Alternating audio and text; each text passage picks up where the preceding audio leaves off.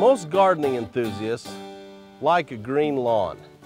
So when a homeowner, landowner comes out and their lawn isn't green enough, they really need to diagnose what's happening that their lawn isn't green enough. When we start diagnosing problems, we really look at three areas. The first one's environmental. When you look at this lawn, it's not getting enough water. Plants need enough water, nutrients, in order to stay green and growing. Some other environmental problems might be pets, might be too much traffic, it might be getting too much sun or not enough sun.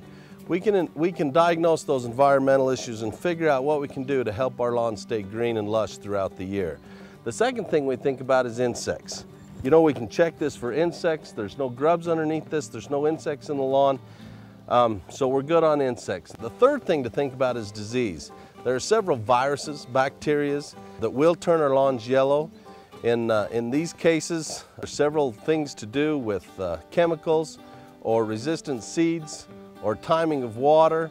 Uh, if you have any questions on diagnosing problems with your lawn, contact an extension office in your county. This is Hudson Hill, University of Wyoming Extension, and you're watching from the ground up.